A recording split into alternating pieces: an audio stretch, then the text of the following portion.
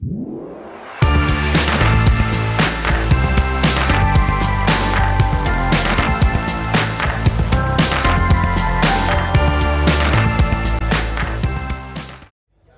fans, I'm Rob da Bank and you're watching NME.com.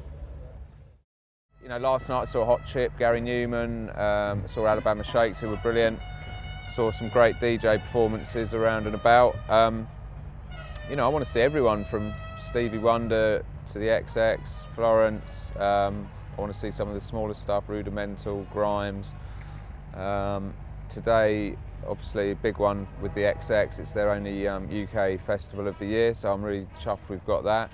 Uh, that should be incredible on the main stage in the sort of uh, setting sun and all that. Yeah, no, booking Stevie Wonder, obviously, um, you know, for a promoter, it's probably once in a lifetime thing. It's like booking Prince or, you know, one of one of my all-time heroes. So, uh, mm-hmm. yeah, you know, it, it wasn't actually that tricky. Like, I think it's sort of well known that with Robert Smith and the Cure, it took me kind of seven years to twist his arm into doing it. With Stevie, it was all about it all happened in about six months, so it was a lot quicker but quite intense. Lots of new stuff at, at Bestival 2012. Um, we've expanded the site a lot. You know, it's the same amount of people, 50,000, but um, I, you know, I think it's really important that people have sort of space to sit down, breathe. You know, more camping space. So yeah, we've expanded the site a lot towards the east, which seems to have really worked. Um, there's lots of new new areas here. We've got the amphitheatre in the woods, which is sort of um, kind of a cinematic thing by night with David Lynch double bills and Quentin Tarantino double bills, and then during the day it's like yoga, meditation, Scroobius Pip spoken word lounge,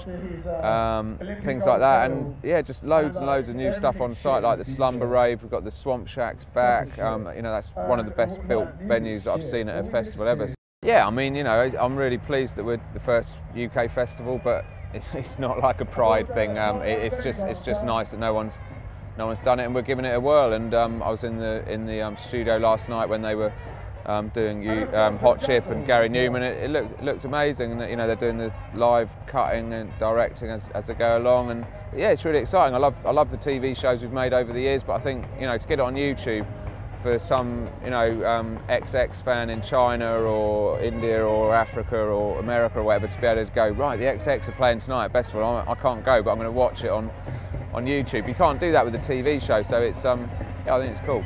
Yeah, next year, I'm, you know, I try not to think about next year until um, next year, but but yeah, I've already started booking booking um, some acts, a couple of smaller ones, and a possible headliner exclusively for you, NME.com. It's going to be no, I'm not going to do that. Um, so uh, yeah, someone very exciting or a band that's very exciting, and uh, yeah, first headliner is is kind of that, that close to happening. So yeah, fingers crossed it comes off.